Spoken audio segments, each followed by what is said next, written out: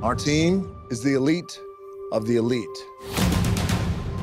We're the heart and soul of this very beach. We protect when other people don't want to protect. And we go above and beyond. Help me! If you want me, you can have me. Some other time.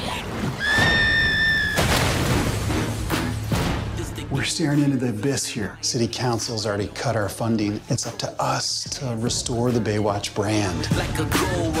I'm Matt Brody, ready for duty. Do you just uh, look at my boobs? I, You should look at my face. I'm trying, but it's so close to your boobs. Ha. This is the guy you think is a good PR opportunity for us. Do some shots! He's reckless.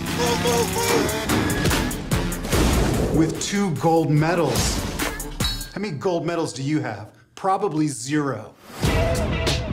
We got a dead body on our beach.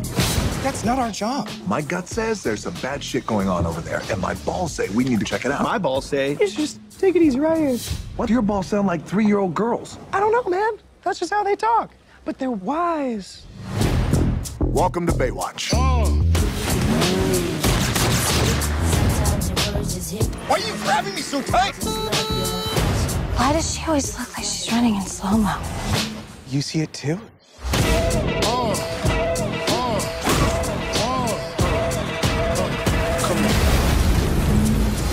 You turned the canals into the damn X Games. Yeah, that's because we were in lifeguard pursuit. There's no such thing as lifeguard pursuit. How do I explain this so that you people understand? You people? You people? Oh, you don't get to say that. You're just tan. Right on. Come on, brother. Oh.